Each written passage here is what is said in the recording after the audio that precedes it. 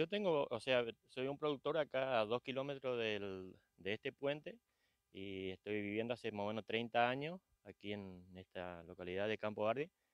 Y nosotros lo que estamos pidiendo es, eh, de hace rato, hace varios años que venimos pidiendo la mejora de este puente. Eh, no mirando a un sector político, sino queremos que nos den una solución. Eso, esto es un bien para una comunidad, no es para mí solo. ¿Hace eh, cuántos años que está así? En esta... Lo clausuraron y había un, pusieron unos tubos gran, grandísimos ahí en esa parte, hicieron un desvío ahora donde salía y donde está esa casa.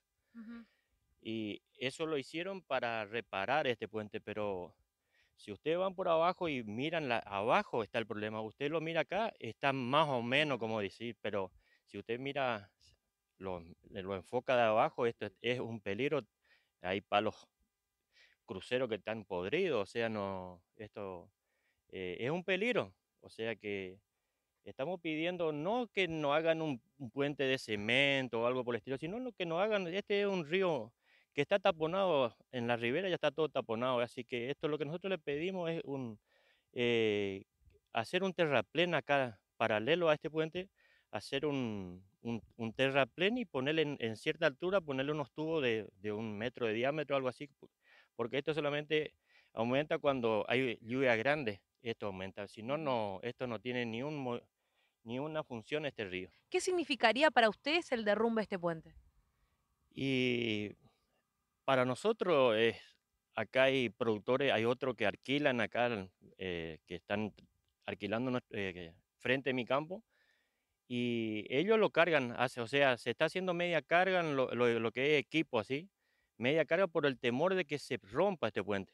Y acá no hay, no hay acceso a otro camino, sino que nosotros quedamos, eh, nuestra petición es que quedamos aislados. No sé cómo no van a hacer.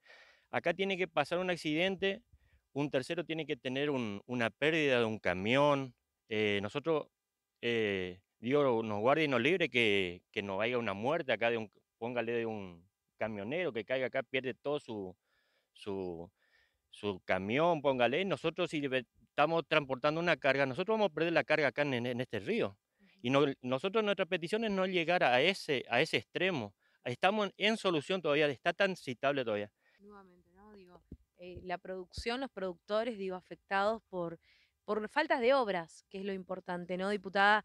Em, bueno, esto que él planteaba, el señor, digo, de quedar aislados.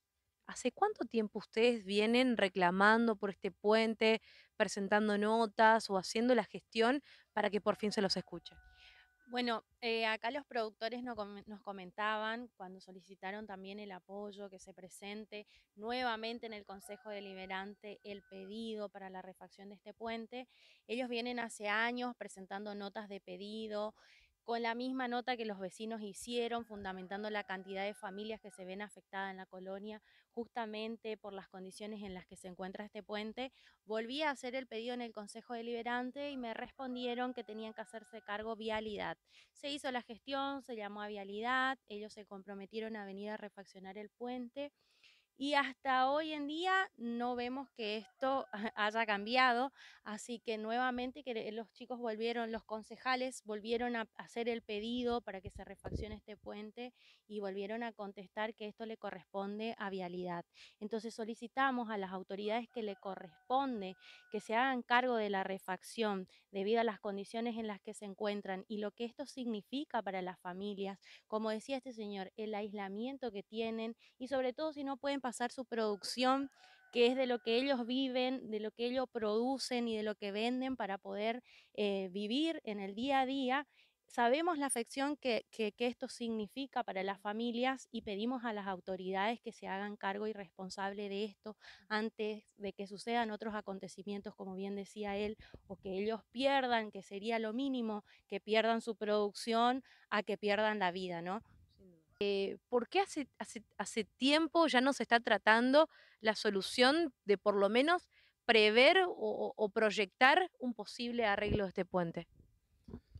El reclamo, el reclamo es un reclamo eh, ya que de varios años, de gestiones anteriores incluso, em, y lo que pasa es que nadie se hace cargo. Entre Vialidad y el Ejecutivo y el Consejo Deliberantes eh, dicen que no le corresponde o que es un tema de vialidad, pero tampoco eh, hacen, ellos insisten tampoco a vialidad como para que vengan y revean eh, la situación, ¿sí?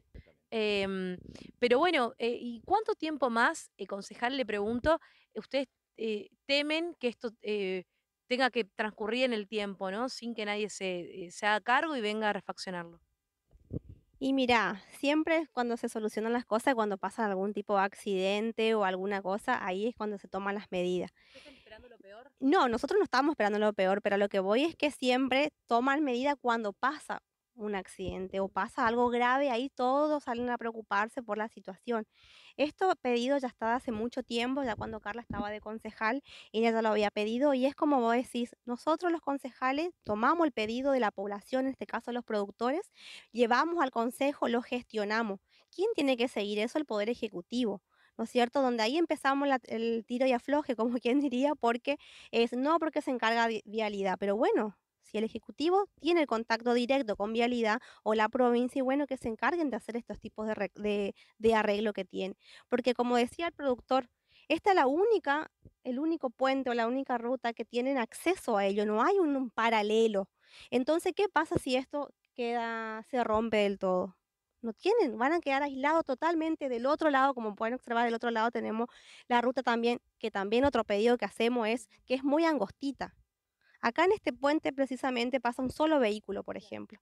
Y en la ruta también, o sea, también se podría limpiar los costados, digamos, porque los productores tampoco están en condiciones hoy de, poner un tractor de, o de poner combustible de su bolsillo para poder limpiar. Entonces, todas esas gestiones también le corresponde al Poder Ejecutivo. Nosotros legisladores proponemos, quizás decimos, pero nosotros llevamos la inquietud de los productores pero también necesitamos a que la otra parte también gestione y que se pongan a hacer las cosas. Eso nomás es lo que exigimos y pedimos ahora el arreglo, porque vuelvo a repetir y hay que voy a ser exigente en esto, a que se rompe el puente y las personas quedan aisladas. Conocemos productores que están del otro lado, que son docentes, se van todos los días a la ciudad de Villa, a la localidad de 213, y ¿qué pasa si se rompe el puente? No van a trabajar. Entonces hay una multitud de cosas que eh, van a quedar paradas, varadas y bueno, eso es lo que exigimos, una respuesta inmediata, una solución inmediata para que puedan solucionar estas cosas.